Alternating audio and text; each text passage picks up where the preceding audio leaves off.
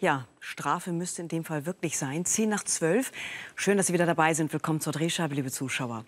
Wenn Menschen Hilfe brauchen, dann kann Wegschauen tödlich sein. Aber wenn jemand Hilfe leistet, dann braucht man wirklich alles, nur keine Gaffer. Als auf der Autobahn 60 ein LKW brennt und der Fahrer eingeklemmt ist, da dreht ein Mann in aller Ruhe ein Handyvideo, statt dem Verletzten zu helfen.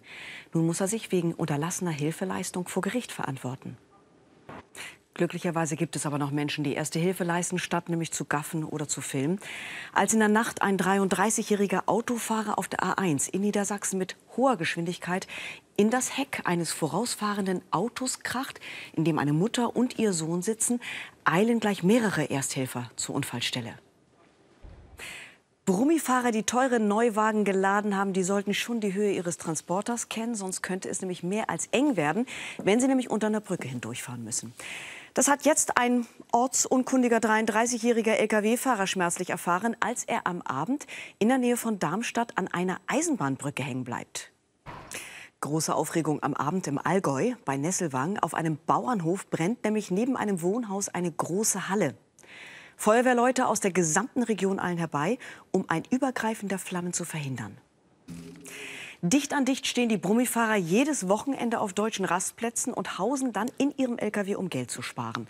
Sie kommen zum Teil aus Osteuropa und sind oft wochenlang im Auftrag deutscher Logistikunternehmen unterwegs, auch im Auftrag der deutschen Posttochter DHL.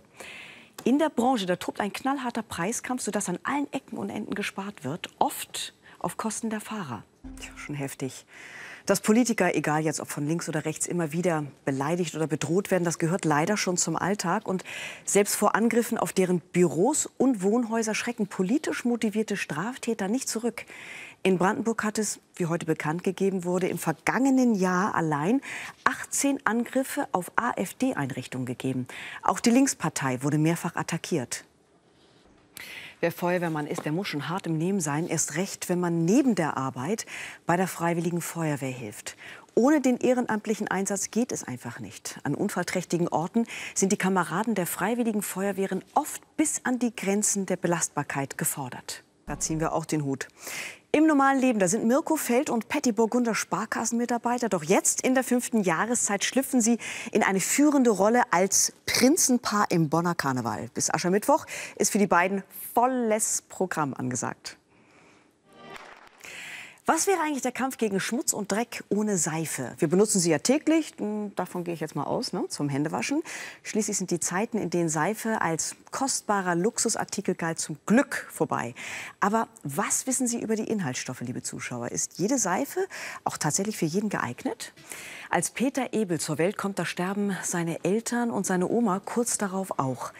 Ja, und nach etlichen Heimaufenthalten landet er dann schließlich in einem Schloss. Was er dort allerdings heute macht, das hat unsere Reporterin Katrin Lindner auf ihrer Expedition zufällig herausgefunden, weil dieser Zuschauer hier ab die Maule Teile sie nach Brandenburg schickt. Und zwar genau nach, da kommt der Fingerzeig, Großkreuz. Wenn das keine Einladung ist, ganz herzlichen Dank, Katrin, nach Brandenburg. Sollten Sie, liebe Zuschauer, heute früh mit so einem Blumenstrauß geweckt worden sein und immer noch nicht wissen, wie Sie zu dem Glück kommen, heute ist Valentinstag, ne? der Tag der Verliebten. Und weil das Leben ja immer noch die schönsten Liebesgeschichten erzählt, haben wir jetzt eine, die in Indien beginnt und heute in Mainz spielt. Ach, ist das romantisch. Und ich gebe jetzt gleich ab ans ZDF Mittagsmagazin mit Norbert Lehmann. Danke fürs Zuschauen und ich freue mich auf morgen. Ich zähle auf Sie.